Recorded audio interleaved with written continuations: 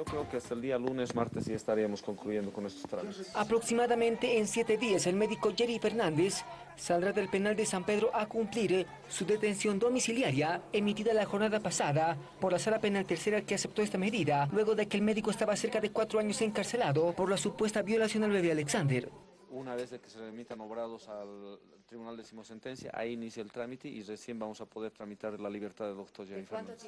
Fernández debe cumplir con los siguientes requisitos emitidos por la Sala Penal Tercera. Debe tener cuatro garantes solventes que sean familiares. Cada 15 días deberá registrarse en el sistema biométrico de la Fiscalía. Este tiene arraigo, por lo cual no podrá salir del país. No deberá acercarse a los otros vinculados del caso.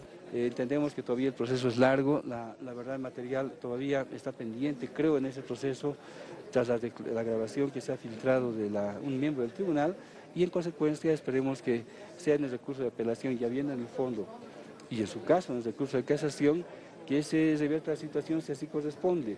Realidad la presunción del doctor Fernández está garantizada hasta que, hasta que hay una sentencia condenatoria. Fernández cumplirá su detención domiciliaria en un departamento ubicado en la calle Graneros de la ciudad de La Paz. Asimismo, la defensa legal del galeno espera la próxima audiencia de apelación restringida en la que pedirán la absolución del médico y que otro juicio inicie desde cero con otros jueces, proceso que esperan que no sea tan extenso como el que se atraviesa actualmente precisamente tenemos a puertas ya una audiencia de apelación restringida en contra de la resolución 05 quebrado 2018, donde pretendemos anularla y de que se emita una nueva resolución donde se determine la absolución de Jerry Fernández. Tenemos la sala penal, la sala penal va a ser la tercera, pero todavía hay trámites pendientes. Ayer se nos ha notificado con una resolución y ya está cumpliendo el plazo para que nosotros podamos responder a ello y se remitan obrados a la sala penal tercera.